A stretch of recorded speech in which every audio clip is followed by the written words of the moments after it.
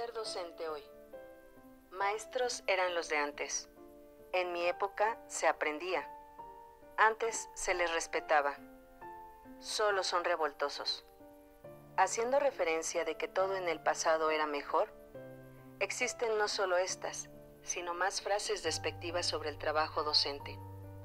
Cuestionados en su capacidad de enseñar a los alumnos hoy en día, los maestros pierden motivación y autoridad en el aula, pues desde diferentes puntos de vista, alumnos, padres de familia, medios, son los maestros los responsables del fracaso de los alumnos. Sin embargo, realmente, ¿hasta qué punto esta perspectiva social es real? La visión de la opinión pública ignora una parte de la realidad, en donde hay muchos maestros con ganas de enseñar, así como también chicos con ganas de aprender. Es importante también tener en cuenta que las opiniones dependen del medio social, pues para los chicos de clases altas, el docente es visto como un empleado. En cambio, para las clases más bajas, el docente es visto aún como un líder comunitario. Aunado a esto, otro factor muy importante es el contexto social, pues todo cambia y los factores familiares actuales tampoco son los de antes. El tipo de alumnos que ahora se incluyen no tienen muchas veces una mesa para hacer las tareas, ni un acompañante de tiempo completo en su trayecto educativo.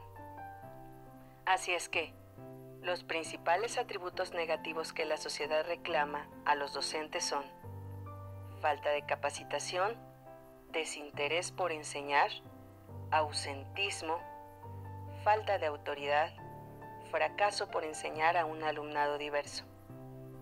Es muy difícil construir una buena educación cuando los valores que inculcan las familias a sus hijos inciden sobre su percepción sobre el docente. Si solo se valora lo económico y no se prioriza la cultura, el chico no tendrá interés por aprender. Por eso, más allá de la desmotivación o falta del compromiso de los docentes, pues echarles la culpa es no ver el panorama completo, existe una creciente necesidad de reconstruir el diálogo entre los padres, los docentes y la escuela. Los múltiples cambios sociales y las nuevas tecnologías han construido un nuevo escenario en el que los maestros deben adaptarse constantemente. La escuela dejó de ser un lugar donde se imparte conocimiento, porque hoy compite con otras fuentes de información que tienen mayor legitimidad por parte de los jóvenes. La culpa no es del docente, sino del sistema que no ayuda a la escuela a estar preparada para su tarea.